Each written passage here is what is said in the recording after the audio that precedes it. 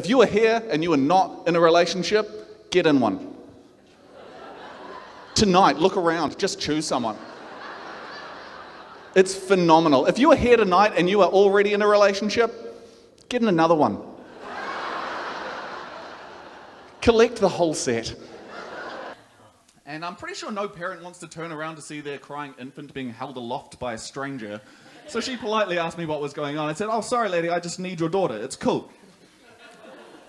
Some of you are ahead of me on this one because she started screaming at me to put the girl down. I have no idea what's going on. Then, of course, I realized I just told this mother that I need her daughter. Hey, lady, I just need your daughter. It's a goddamn homophone, which, FYI, also not a good thing to be yelling out in public because it makes you sound like an illiterate gay bash, a goddamn homophone. Anyway, how long have you guys been together? Well, we actually just got married last week. You just got married last week. Holy shit! Round of applause to that. Yeah, and this is the cheapest honeymoon you could possibly have. Where are we going to go? I don't know, downtown Auckland? because a wedding is the single most arrogant thing you can do.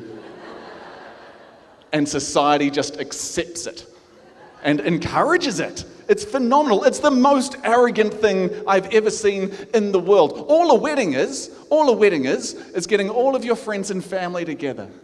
Hey, everybody. You're all so important to me. I want you all to come together. I want you to come into this room. I want you to sit down and I want you to look at me. And I want you all to celebrate how much more I love this person than all of you.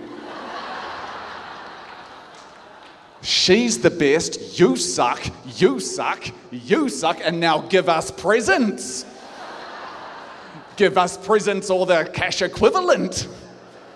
Here I made a list like a child does for Santa.